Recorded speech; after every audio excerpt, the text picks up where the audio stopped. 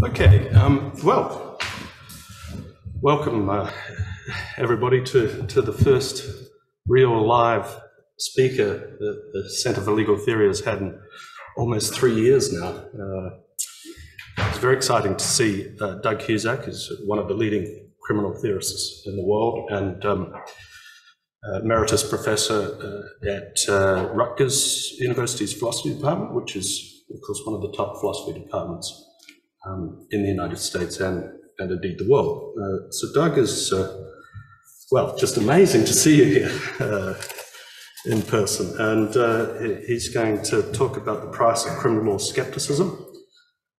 And I think that's probably all I really need to say. Take it away. Well, it really is a pleasure to be here finally. And I want to thank the university and especially Andrew, who has done more over the last few weeks to take care of me than he has uh, done with his own work, I'm sure. And so I'm really appreciative. And it's a great pleasure to make my first trip to Singapore. I'm really impressed with this place. So I don't like speakers to talk too much about themselves, but I want to say a bit about the motivation for what you're about to hear. For much of my now long career, I've aspired to defend a retributive penal philosophy and to explain why it is not nearly as punitive as its reputation. So, to this end, I've argued first that the number and scope of offenses should be narrowed. We've got too many crimes, and drug offenses in particular are among those that I have argued we should eliminate. Secondly, our defenses are too narrow. In particular, the defense of ignorance of law is something that I think should be expanded. So, as a result of these views, I have long favored what I call a minimalist theory of criminal law and punishment against those who would use the criminal sanction more frequently and with more severity. So I was always the guy in the room who favored less punishment. But in the last couple of years, all this has changed. My old minimalist approach now has come to seem almost antiquated. There has been an enormous change in the writings of criminal theorists in the United States. In the wake of the murder of George Floyd, a lot of progressive academics don't join me in concluding that we should punish less but contend that we should not punish at all. Punishment and criminal law abolitionism have always been around, but were something of a fringe position in philosophical circles. And now it's become much more mainstream. So, relative to my peers, especially my younger peers, if they're peers, or the younger people in the profession, I've suddenly become the philosopher who wants to punish more often and with greater severity. So this shift has had a real profound effect on me and my understanding of where I fit into the profession. So I have come to feel like a dinosaur. And this is part of what motivates my presentation today. There's nothing like allegations of racial injustice to galvanize progressives. Now, incidentally, Racial disparities in enforcement are the single most important factor that has finally stimulated drug reform in much of the United States. After several years of making principled arguments for why we should not punish drug offenders, the widespread dissemination of data about the racial disparities in drug law enforcement has achieved what a lifetime of philosophical efforts had failed to bring about. So I want to make a, another preliminary point before I get to my paper. So I obviously come from a country in which crime rates are very high and punishment is commonplace and severe. Some of the academic trends that motivate my presentation, I'm sure, are much less pronounced here in Singapore, where crime rates are so much lower. I wonder how real and perceived crime rates correlate with the popularity of radical ideas about penal justice. I sometimes suspect that abolitionist and skeptical ideas enjoy less appeal in a place that needs to resort to punishment much less frequently, there's less injustice to eradicate. On the other hand, as rates of many violent crimes have rapidly escalated throughout much of the United States, calls to become more punitive are being expressed much more often. Like just about everything else in the United States these days, the commentary on this issue reflects extreme political polarization and the point of view of progressive theorists and the public have come to be on very different sides of this debate. debate. So despite being a philosopher, I am not allergic to facts, and I try to stay abreast of this development. And so I guess now I will get to the paper I circulated, and some of you have looked at it and some of you haven't. There's a growing trend in philosophical commentary about penal justice that I call criminal law skepticism. And I use this very vague term broadly to encompass any movement to constrain criminal justice institutions so radically that they barely resemble those with which we are familiar. At its most extreme, it includes criminal law abolitionism. So, whatever its name, I intended to cover all of the scholarship that does not simply urge caution or a minimalist, more judicious use of the criminal law to address social problems. Instead, its thrust is much more sweeping. It presents reasons to doubt that the criminal law as presently constituted should continue to exist at all. I make no effort to categorize the several varieties of skepticism. Their forms and underlying rationales are diverse and, and frequently humane. Abolition skeptics, abolitionists and skeptics divide on what they believe should replace the criminal law in its present form. For this reason, no single argument can refute all versions of skepticism.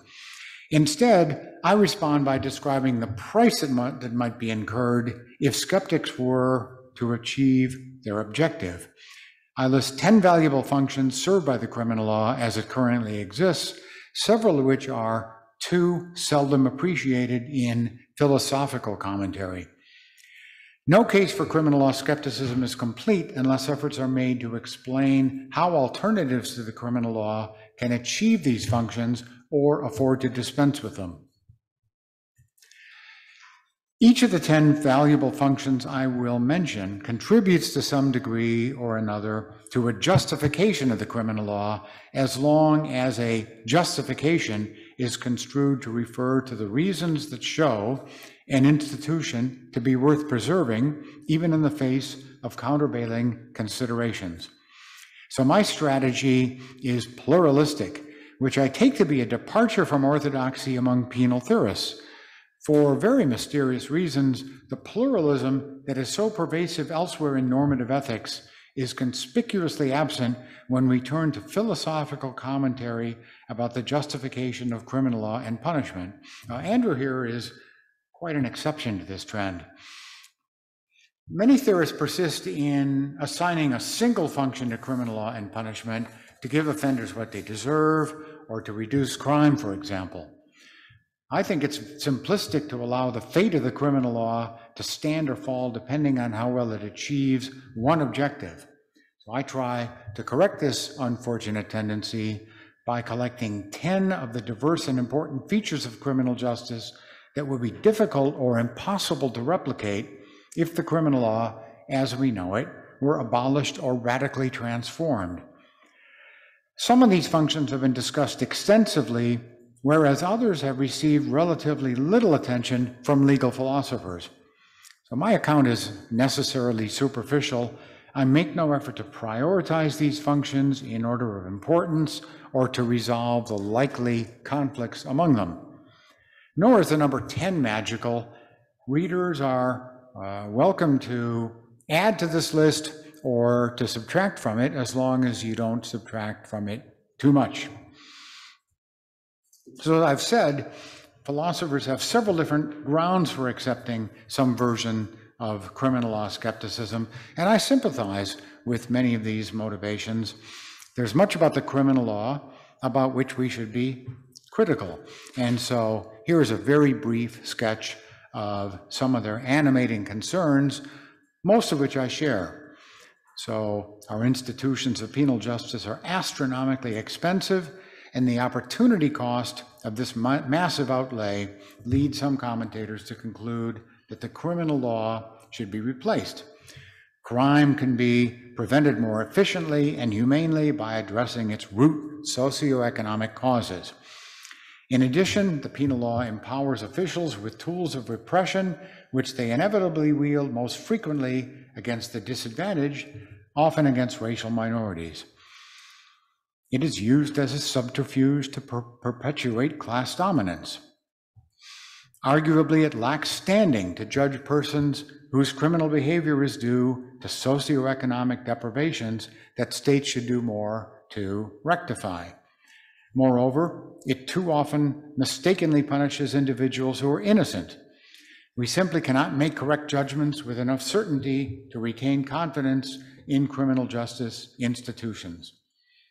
In addition, it's hard to see how law itself could possess the moral authority to coerce conformity, conformity with its directives, especially when one attends to the details of how legislation is actually enacted.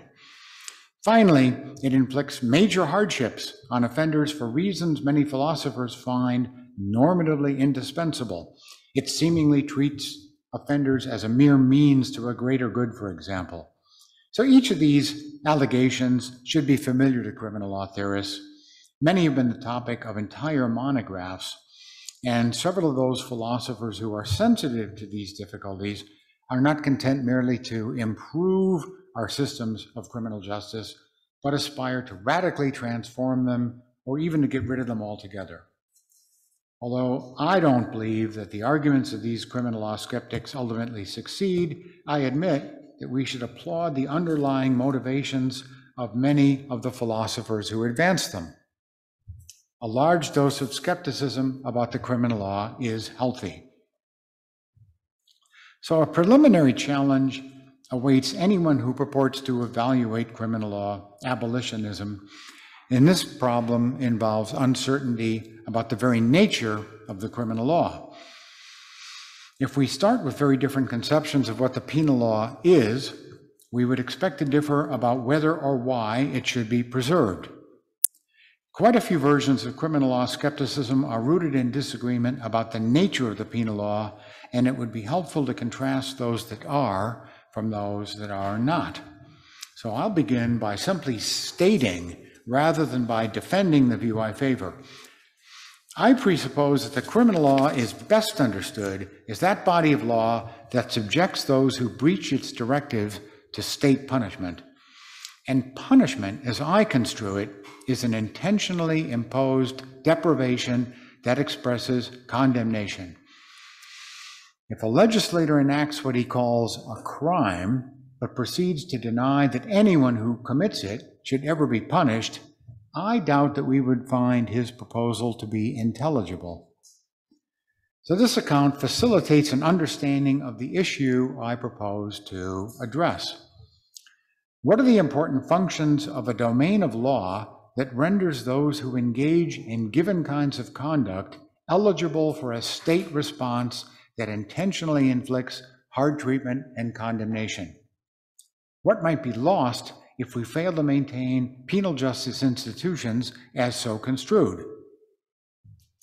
So I hope I don't need to belabor to support my claim that the phenomenon of criminal law skepticism is genuine, in the United States at least, before I turn to the price I believe its adherents are likely to pay if their pleas are heeded. Clear examples in my country are plentiful, so I'm going to take this trend for granted. Although I believe we are warranted in retaining the criminal law in roughly its present form, no one argument will demonstrate that we are correct to do so. In what follows, therefore, I will depart from more typical philosophical methodology by making no serious effort to respond to the many arguments marshaled in favor of skepticism about the criminal law. And instead, the main point of my paper is to describe the price we would be likely to pay if we become too skeptical. The 10 important functions I contend are served by the criminal law are at best, or at best would be jeopardized, and at worst would be sacrificed altogether if the criminal justice system were radically transformed. I doubt that most of those legal philosophers who are skeptics about the criminal law fully appreciate what they are in danger of losing. I'm sure some are prepared to give up several of the functions of the criminal law I recount, whereas others would be led to devise an ingenious way to try to retain them. But the loss of any of the 10 functions I describe would represent a substantial price I believe we should be very reluctant to pay. So here then is the fundamental challenge I believe that skeptics must respond to. For any given function, the skeptic has only three options, I think. He must A, show that the function is not achieved by the criminal law as it exists or is not really very important. B, show that his replacement for the criminal law can preserve that function as well or better than the status quo. Or C, argue that the advantages of skepticism are sufficiently great that they outweigh whatever value one or more of these functions has. It's not enough simply to be a critic. That's easy. But unless my challenge is confronted, I don't believe we should take skepticism very seriously. So here are now 10 functions. Uh, number one is crime reduction, and on just about any account, an important function of the criminal law and punishment is to reduce the incidence of criminal conduct, understood as behavior which the state has authoritatively pronounced ought not to be done. The criminal law itself succeeds in such reduction primarily through incapacitation, specific deterrence, and general deterrence. This is surely the best candidate for the single justificatory function of the criminal law, although, of course, I emphatically deny that it should be thought to have a single justification. Still, this function is so important that it lends, that it tends to preoccupy the attention of both criminal law skeptics as well as their opponents. Those who deny that criminal law and punishment do reduce crime often move directly from this allegation to abolitionism. In turn, a few of their critics are quick to concede that if these skeptics were correct in their conviction, that is, if it really were true that criminal law and punishment did not reduce crime, they then would join their adversaries and embrace skepticism as well. As a result, discussions of crime reduction, reduction have come to dominate debates between criminal law skeptics and their opponents. For my part, I believe that the evidence supports that the conclusion that criminal law and punishment do often reduce crime through each of the foregoing mechanisms, that is, through incapacitation, specific deterrence, and general deterrence. For three reasons, though, I make no attempt to defend this conclusion. First, the controversy about crime reduction is almost entirely empirical and thus lies beyond the expertise of most legal philosophers. Second, since the debate has been waged so extensively elsewhere, I have nothing really original to contribute to it. Finally, and most importantly for present purposes, the case against a given form of skepticism should not be thought to depend solely on this controversy. So, in what follows, I describe nine additional functions I believe are performed by criminal law and punishment. In light of the attention focused on crime reduction, Many of these functions, and the last eight in particular, tend to be overlooked. Skeptics must show not only how their alternative is able to reduce crime, but also should be pressed to explain how many or all of these subsequent functions can be served as well. Unless, of course, they're prepared to argue that our society can afford to dispense with them. So, second, expressive functions Uh, both friends and foes of criminal law skepticism tend to acknowledge that the criminal law, as presently constituted, serves expressive functions. Convicted defendants are not merely held liable, they are pronounced guilty. This judgment publicly condemns. It communicates a message other legal judgments lack. It authoritatively labels the defendant as a criminal with all of the resonance and social meaning that this term conveys. A week doesn't pass without invoking expressivist concerns in favor of a new criminal law or a novel application of an existing law. Literally hundreds of examples could be produced. Calls to repeal or to relax the enforcement of an existing criminal law are often met with the rejoinder that any such change would send the wrong message. This retort is perhaps the most familiar basis on which calls to decriminalize the use of a given drug are still resisted. Again, examples of this phenomenon could be multiplied. So, how might criminal law skeptics preserve this expressive function? At the present time, alternative means to effectively indicate that the state regards a given kind of conduct as serious and worthy of condemnation are not readily available. Unless criminal law skeptics are willing to risk losing the ability to communicate the message that given kinds of conduct are taken seriously and deserving of condemnation by a polity, states may have little choice but to retain the criminal law in something close to its present form.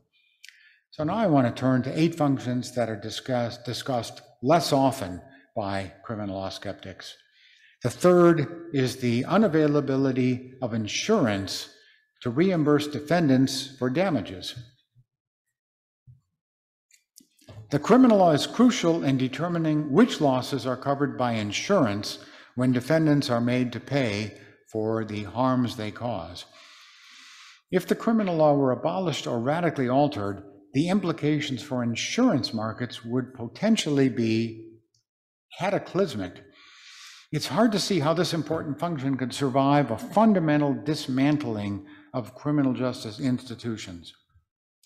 So, all commentators appreciate the importance of compensating innocent victims for the losses caused by defendants who are at fault. Obviously, few culpable wrongdoers have the resources to make victims whole, without some device to spread losses over persons as well as over time. In the United States, elsewhere, insurance is the mechanism for distributing these losses and thus for ensuring that victims are compensated. But some losses are not and presumably should not be spread throughout the defendant's insurance pool. Foremost among these are the losses caused by criminal activity. Liability insurers have long excluded coverage for tort claims caused by criminal activity. Insurance contracts typically contain clauses that deny reimbursement for harms arising out of intentional injuries by the insured. Many such contracts include additional clauses that specifically state that the insurer will not pay for tort claims due to criminal acts, even when the resulting injuries were unintentional. These clauses eliminate coverage for the foreseeable injuries caused by any criminal act, as well as for injuries related to specific crimes such as molestation or abuse. Many liability insurance contracts also contain provisions that exclude coverage for punitive damages, and some courts allow insurance companies to refuse to pay for punitive damage damages even in the absence of explicit language. Many of those legal philosophers who endorse criminal law skepticism aspire to eliminate incarceration. Much about this aspiration should be applauded. Monetary fines are and ought to be a preferable sanction when defendants have the means to pay.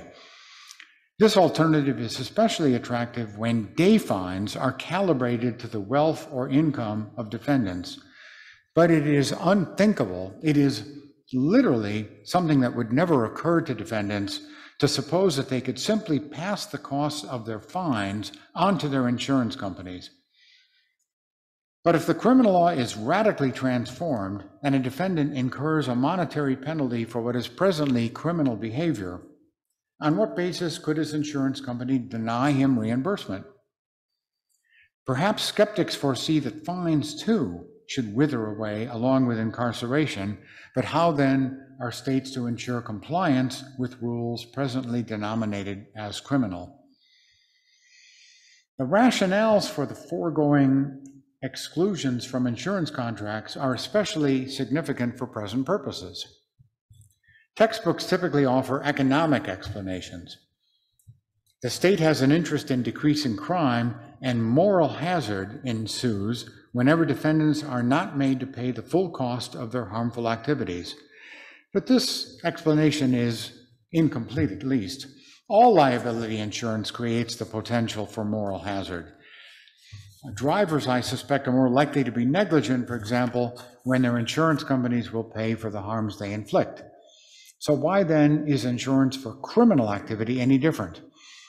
Unless there is something special about the criminal law that makes the problem of moral hazard more worrisome, the economic rationale for crime exclusion clauses in insurance contracts is inexplicable. To be sure, many criminal law skeptics deny that anything is distinctive about the criminal law.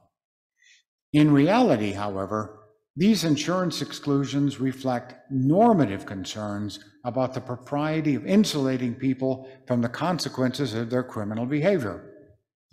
Indeed, when enforcing these exclusions, courts commonly refer in moralistic terms to the public policy concerns that would be raised if crime insurance were available.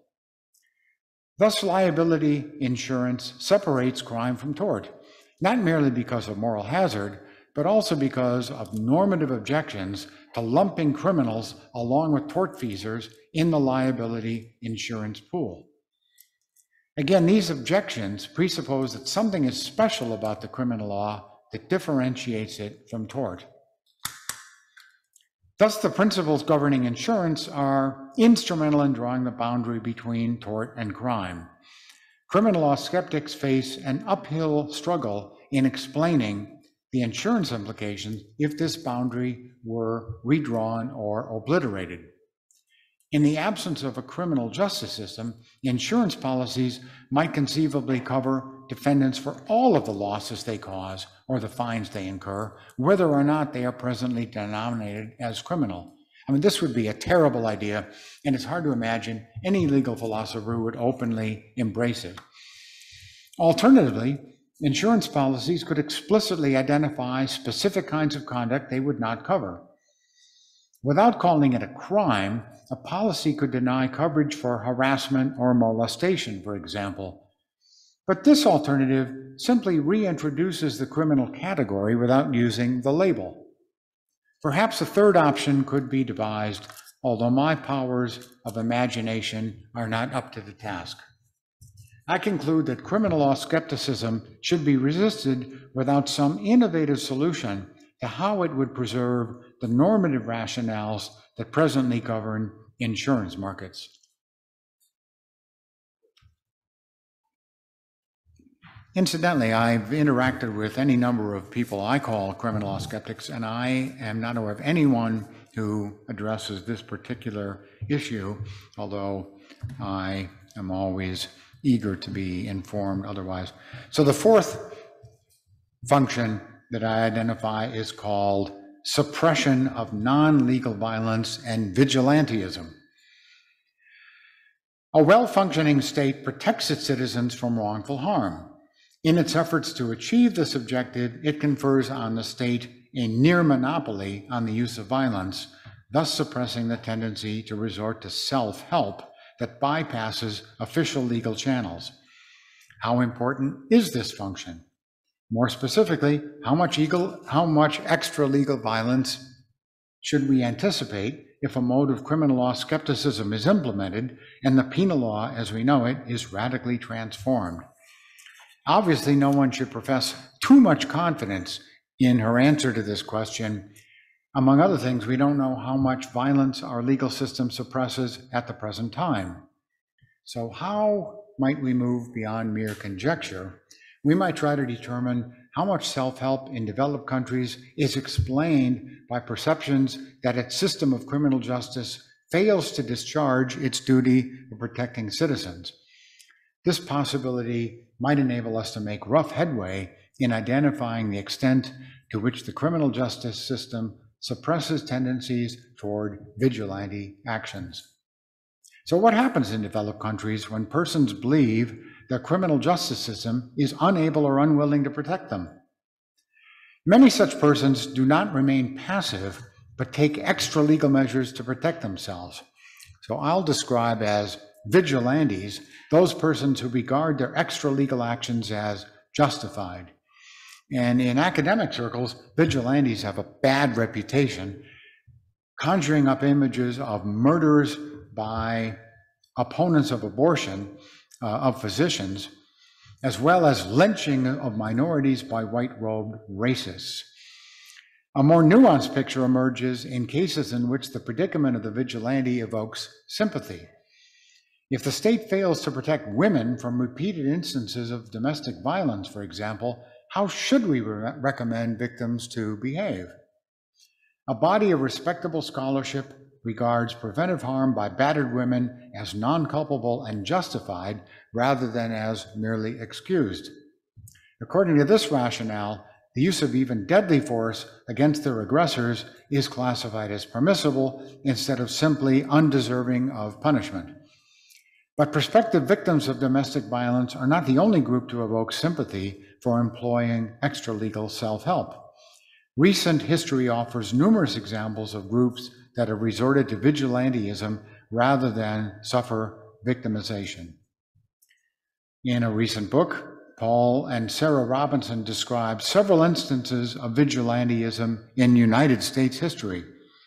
For present purposes, I construe their monograph to have three central themes. First, persons resort to vigilantism when they perceive that the criminal justice system is failing to protect them. When ordinary persons doubt the state's commitment to preventing wrongful harm, they become more likely to take matters into their own hands. Ceteris paribus, one would expect that the more effective a system is, or is perceived to be, in preventing violence, the lower the probability that citizens will take extra legal means to secure these ends. Second, legal officials, police, prosecutors, and judges are often complicit in these vigilante efforts. Police are more likely to testilie when they are confident arrestees are guilty but are unable to provide reliable evidence of their belief because of legal technicalities. They pretend to have issued Miranda warnings or to have observed the legal requirements governing search and seizure, for example, even though they know they have not done so. Prosecutors, in turn, add charges they would not otherwise have brought against defendants who they believe have escaped their just deserts in prior legal encounters. Robinson and Robinson provide ample reason to conclude that complicity in illegal action on the part of legal officials, which they describe as shadow vigilantism, is prevalent and can be more damaging to the legal fabric than classic vigilantism. Third, the public often, though of course not always, applauds the action of vigilantes. Even though the criminal justice system in the United States instills more confidence than that of many countries, only 29% of respondents in a Gallup poll expressed a great deal or quite a bit of confidence in our criminal justice system. Uh, the success of a host of blockbuster movies involving Dirty Harry, Charles Bronson, and a rash of comparable characters shows that huge swaths of the public approve of vigilantes when the criminal justice system is thought to have failed its citizens. In this genre, I include the enduring popularity of superheroes like Batman and Spider Man, whose daily routines are devoted to catching villains who elude the bumbling and incompetent efforts of ordinary police. Even though careful thought may reveal that the moral record of vigilantes in the United States is more balanced than many academics tend to believe, my present point is not to defend an all things considered judgment about the general phenomenon. Instead, my main contention is that it is preferable to minimize the incentives for these legal, for these extra legal remedies in the first place. Vigilantism would almost certainly wane if the criminal justice system were perceived to be more effective in preventing crime. Thus, a penal, uh, system, uh, thus a penal system can expect to reduce vigilantism by earning credibility with the public. I fear, however, that the implementation of various strains of criminal law skepticism would exacerbate existing tendencies to resort to eagle, extra legal measures to prevent wrongful harm. Again, no one can be certain of these effects in the absence of details about the harm prevention plans of those who would fundamentally revise our penal justice system. But skeptics must at least worry about how drastic reforms might increase resort to self help, which the criminal law in its present form seems reasonably effective in curbing. Fifth, the powers of legal officials. The existence of a criminal enactment gives special powers to legal officials in addition to the power to punish. Most significantly, police have the power to arrest and prosecutors have the power to charge when wrongdoing is denominated as criminal. If the line between the penal and the non penal law were blurred or obliterated altogether, what would become of these powers? Would police and prosecutors no longer exist? Would police be permitted to arrest persons who they reasonably suspect to have breached a contract? Would prosecutors be able to charge persons who they believe to have committed a tort? If the more radical criminal law skeptics succeed, it's hard to see why the state would have a need for legal officials whose primary responsibility is to arrest and prosecute, since at present, these powers are exercised against those who are thought to have committed a crime rather than some other kind of wrong. But before criminal law skeptics consign these officials to the ranks of the unemployed, we should keep in mind that police can be effective in preventing culpable wrongdoing before it occurs, even without utilizing their power to arrest. Whatever its deficiencies, the widespread use of stop, question, and frisk is credited by many for helping to achieve the remarkable decrease in violence throughout much of the United States from 1993 through 2019, especially in New York City. Raymond Kelly, the NYPD chief throughout much of the crime drop, claims that, quote, in conjunction with a variety of other methods and strategies, Stop, Question, and Frisk has helped to drive crime down in New York City and to make the streets safer for everyone, unquote. Although the use of Stop, Question, and uh, Frisk became much less popular and more infrequent since the election of Mayor Bill de Blasio and the subsequent murder of George Floyd in Minneapolis, New York City continues to stop and question dozens of suspects, really hundreds of suspects each day. In light of its probable crime preventive effects, few commentators call for the total abolition of the practice of stop, question, and frisk.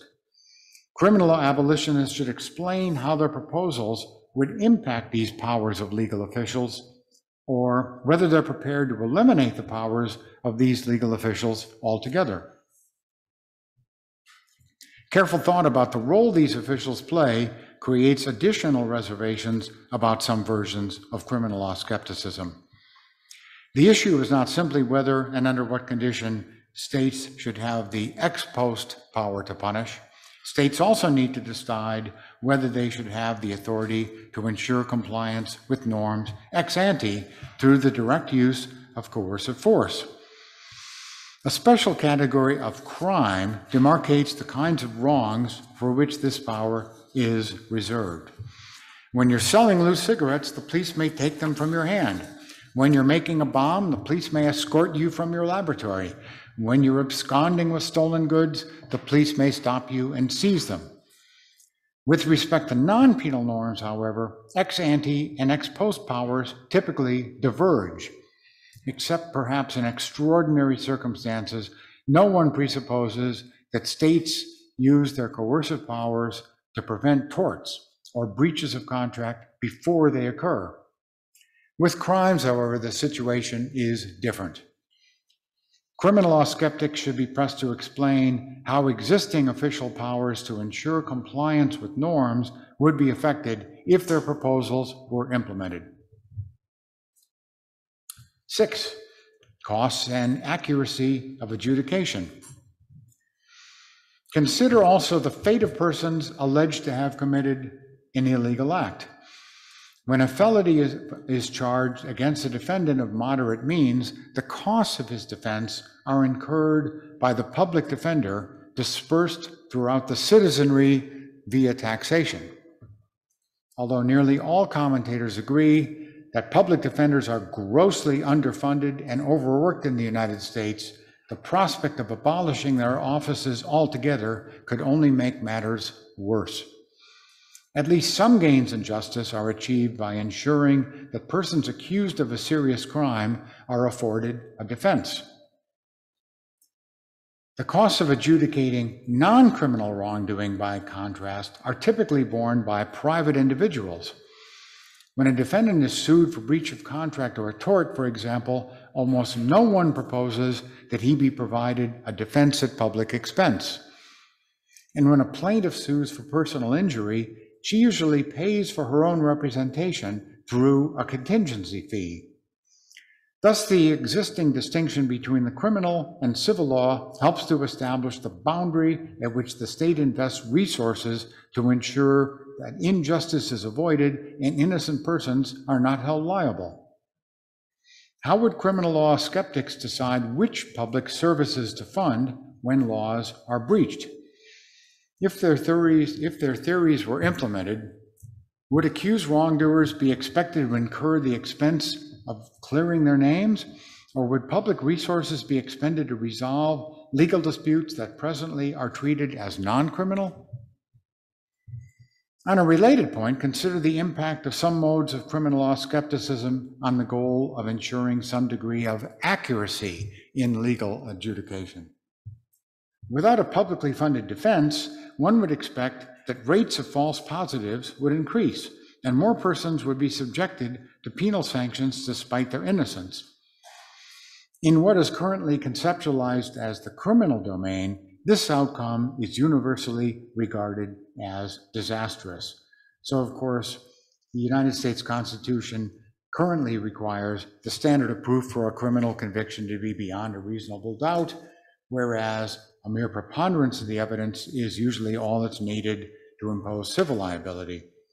This crucial difference reflects the widely shared sentiment that it's a far greater injustice to convict the innocent than to acquit the guilty.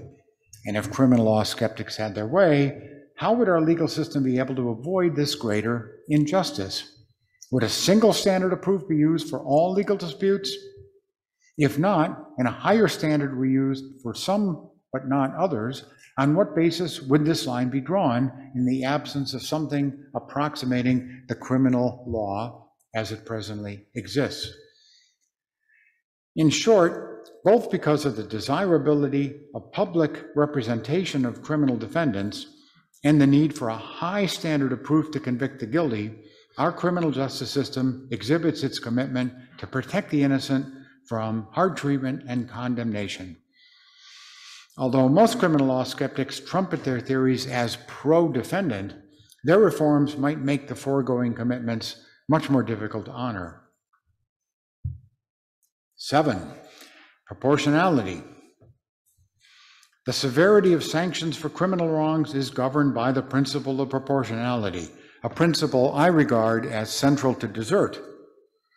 I construe this principle as followed. As I construe this principle as follows. All, be, all things being equal, the severity of the punishment that is deserved should be a function of the seriousness of the offense. Some commentators, who may or may not regard themselves as criminal law skeptics, have called for a sentencing scheme that dispenses with proportionality altogether. For two reasons, however, this response is hasty and ill advised. First, no good theory of punishment and sentencing has emerged to take the place of a retributive theory in which proportionality plays a central role. Efforts to defend a wholly consequentialist theory or a non consequentialist alternative that dispenses with proportionality and desert encounter devastating problems of their own. Risk based sentencing, for example, has come under heavy fire. It is best not to abandon a principle with lots of intuitive support in the absence of a preferable option. Punishment and sentencing must proceed according to some set of normatively defensible considerations, and no rival theory that awards a crucial role to proportionality and desert is on the horizon. Intuitions favoring proportionality are deeply ingrained and stubbornly persistent. To my mind, it's nearly unthinkable that punishment severity would be wholly decoupled from offense seriousness. The strong commitment to doing justice produces not just a demand for punishment, but also a judgment that sets its extent to the offender's blameworthiness. It is a truism that the sanctions imposed for non criminal wrongs pay much less attention to the principle of proportionality. For example, a driver can incur tens of millions of dollars in damages and face economic ruin, absent insurance, by being only a tiny bit negligent if he crosses the median and happens to strike a bus full of professional athletes. Few would propose that the criminal response to this conduct should be comparable in severity to its civil counterpart. The reason for this disparity is simple. Criminal liability is governed by the norms of retributive justice, whereas civil liability is governed by those of corrective justice, and the logic of these two domains is entirely distinct. Theorists differ greatly in the details of how they explicate the principles of retributive and corrective justice. But in the criminal context, a response must respect the constraints of desert, so sanctions are inevitably governed by proportionality constraints. When the rationale is to compensate victims for harms actually caused, however, proportionality has no obvious application. Since the significance of proportionality is so different in each domain, a criminal law skeptic must be pressed to explain what role proportionality would play when the criminal law is fundamentally reconfigured. As before, I don't insist that this challenge is insurmountable. I only insist that it must be met. Eight, crimes as public wrongs. Some of the less familiar reservations about, the crimi- about criminal law skepticism can be introduced by the thesis that whatever conduct is criminalized should amount to a public wrong. Criminal law is an instance of state authority and necessarily requires a political as well as a moral theory to rationalize it. Many legal philosophers who otherwise agree about very little find the idea of a public wrong to be unintelligible or otherwise unattractive. But there are many possible ways to explain the sense in which the state must have a substantial interest in prohibiting whatever wrongs are subjected to punishment. One strategy begins by trying to understand the objections that would become trenchant if the public dimension of criminal conduct were lost. Consider, for example, the recent outcry about the ongoing revelations of acts of sexual harassment by powerful men in sports, entertainment, and business. In many such cases, victims had accepted substantial amounts of monetary compensation from those who had harassed them. A defendant would be unlikely to pay this amount unless the settlement included a non disclosure clause that precluded the victim from going public with her story. But many commentators criticize victims for not coming forward and thereby increasing the likelihood that perpetrators will reoffend. Reasonable minds disagree about what individual victims should do in the face of these criticisms. Should third parties be quick to fault them for accepting more money for their silence than they may earn in their lifetimes? Nonetheless, these critics have a point. Some states have recently enacted legislation that would void contractual clauses that prevent victims from telling their stories. And uh, other states, beside my own state of New Jersey, have uh, followed suit. I don't take a firm position on the wisdom of non disclosure agreements for sexual harassment settlements, and no single example should distract us from the, the larger point. I mention this issue to illustrate one of the several matters at stake in deciding whether a given kind of wrong should be deemed as public or private. When a driver accidentally damages my car, almost no one has reservations about allowing me to accept monetary compensation for my loss and not to proceed further. If a voluntary agreement is reached between perpetrator and victim, the matter is presumably concluded. Is the foregoing example of sexual harassment comparable? In this case, it is hardly obvious that a non-disclosure agreement between victim and offender should be allowed to bring the matter to a close. When these agreements are enforced, any public interest in ongoing harassment remains unmet.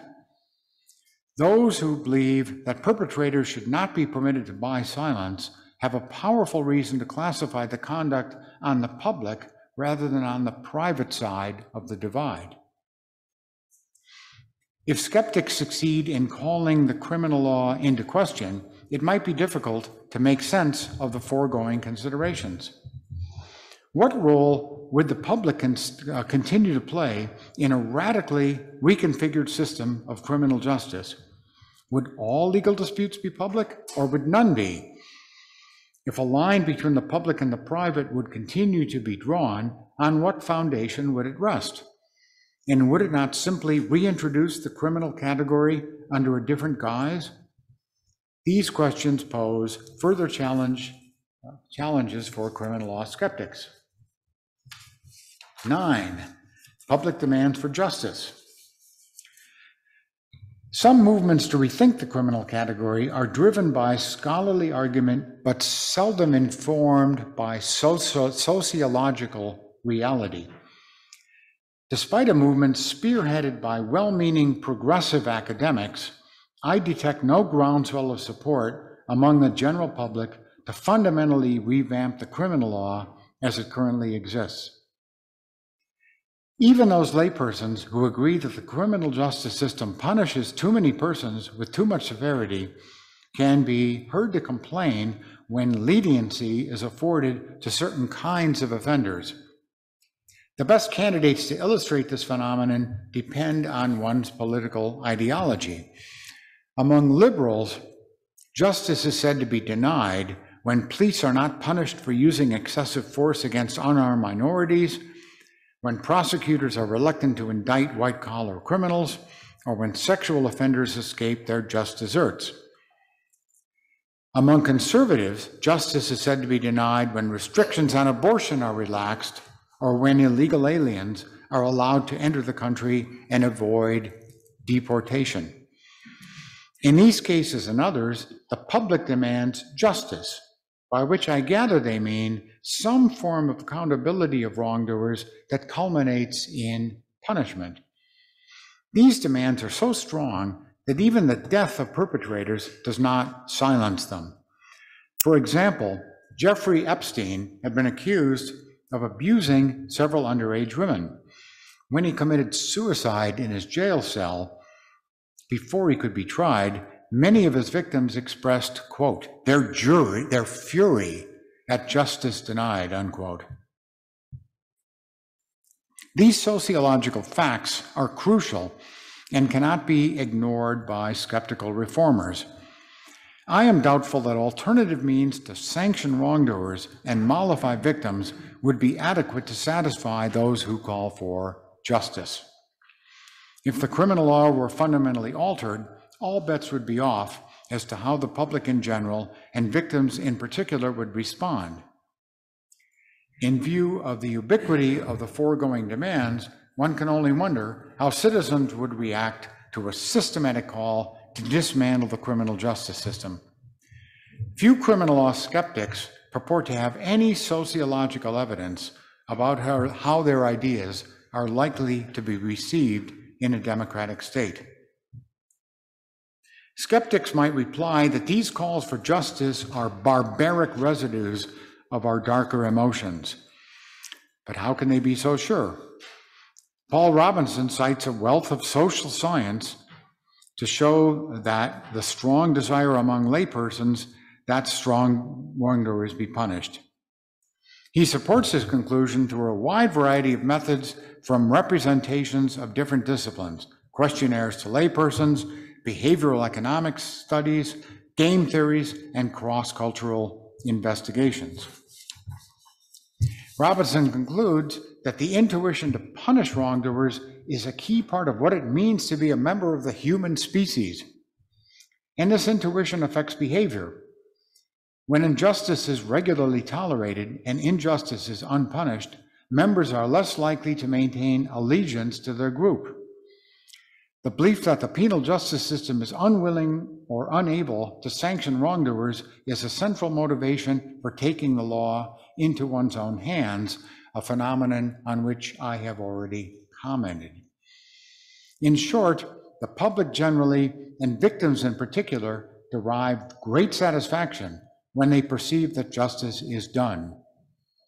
When justice is denied, by contrast, they express frustration and disappointment. We should not be quick to condemn these widespread reactions as unenlightened.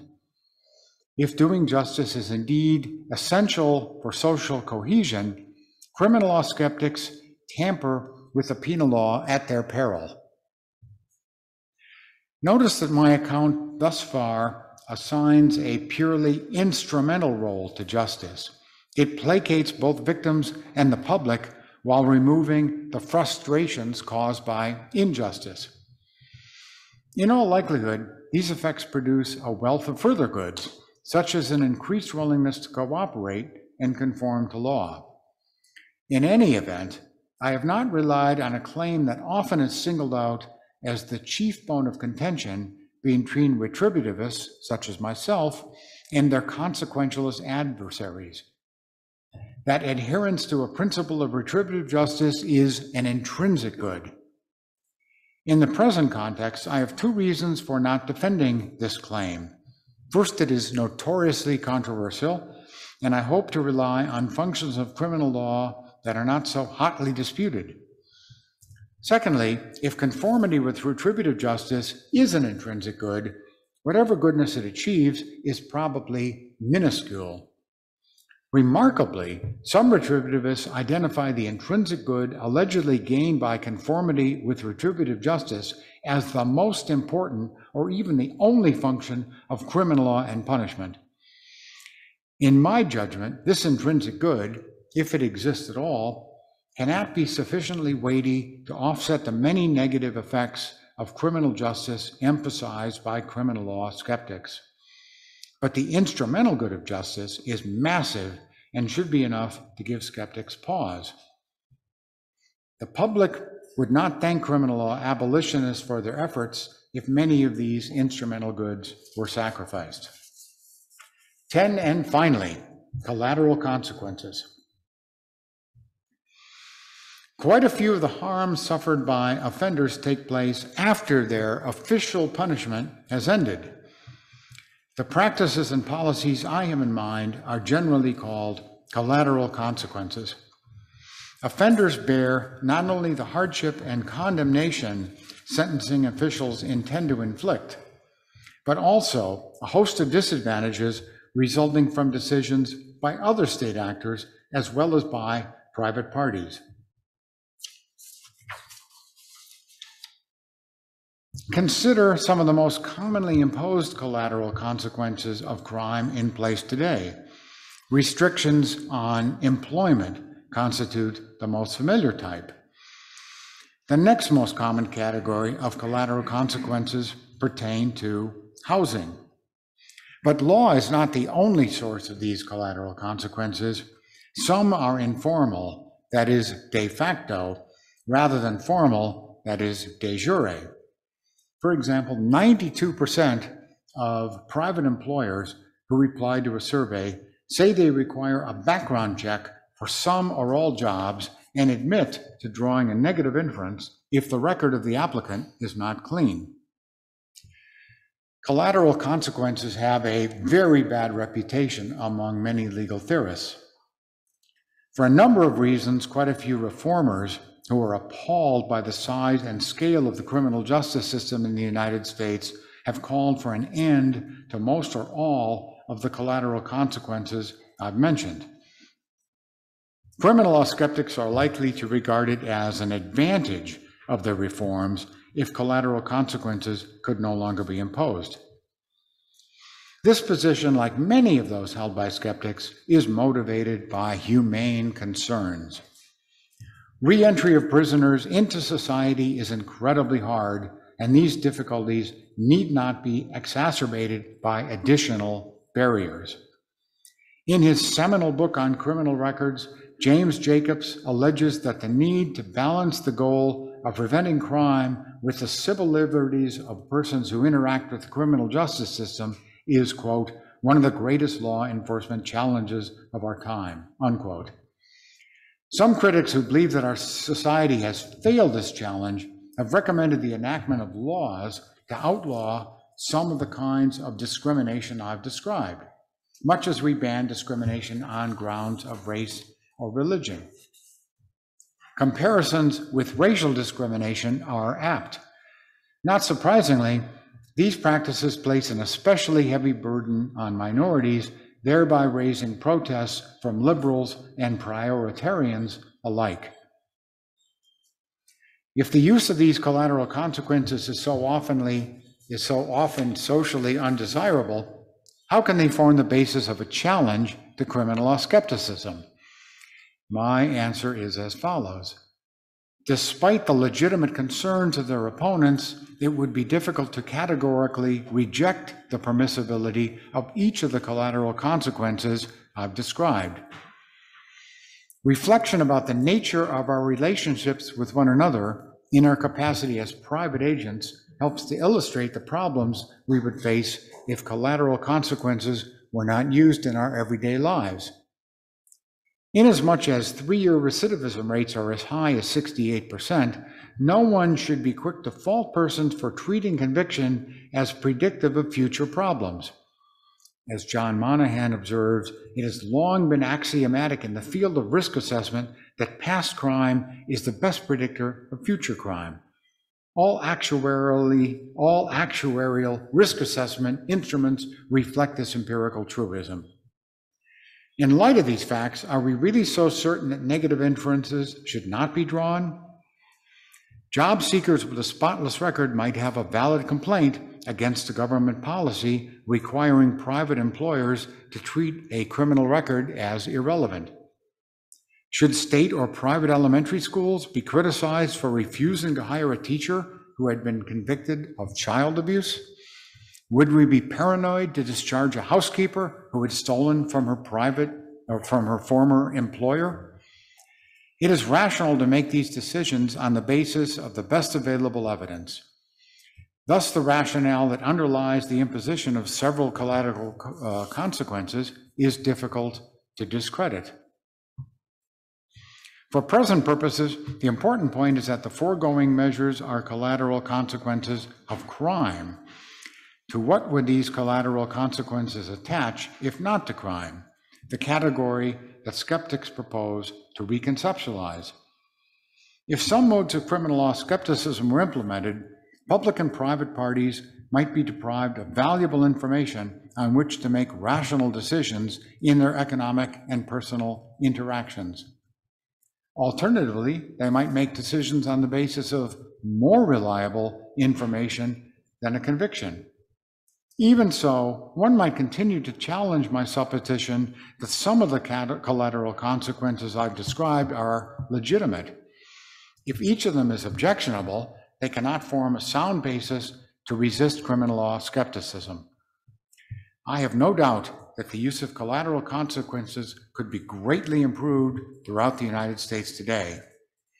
I maintain, however, that something significant would be lost if no collateral consequence could be imposed, an outcome that might follow from the adoption of some versions of criminal law skepticism. Okay, those are my 10 functions, and I now have a fairly short conclusion. What I've done is to describe a, a loosely knit trend I have called criminal law skepticism. I have not sought to reconstruct or respond to the arguments of these skeptics directly. Instead, my strategy is indirect. I describe the costs that are likely to be incurred by their revisionist views. I've identified 10 valuable functions performed by existing systems of criminal law, functions that would be difficult or impossible to reproduce if skeptical ideas were put into practice. Each of these functions, I believe, contributes to a justification of the criminal law. The- Thus, institutions of criminal law and punishment should not be thought to draw support from a single normative rationale. Here, as elsewhere in moral and legal philosophy, pluralism provides the better justificatory strategy. Can whatever the criminal law skeptic recommends as a substitute for existing systems of criminal justice perform some or all of the foregoing 10 functions? It's impossible to say. Perhaps some of the features I have listed could be replicated if states were to adopt a radically different system. I re-emphasize that different versions of skepticism have distinct features and implications, and no single argument addresses them all. I have deliberately avoided an assessment of the details of any particular skeptical theory. Even if these details were examined, however, no serious evaluation could be undertaken without specifying what is proposed to replace existing systems of penal justice. As every philosopher knows full well, criticizing an idea is much easier than defending a better alternative. Here is where many skeptics fall short. Without a detailed account of what is alleged to be preferable to our current system of penal justice, an examination of a particular strain is necessarily incomplete. I've tried to describe what would make one alternative preferable to another.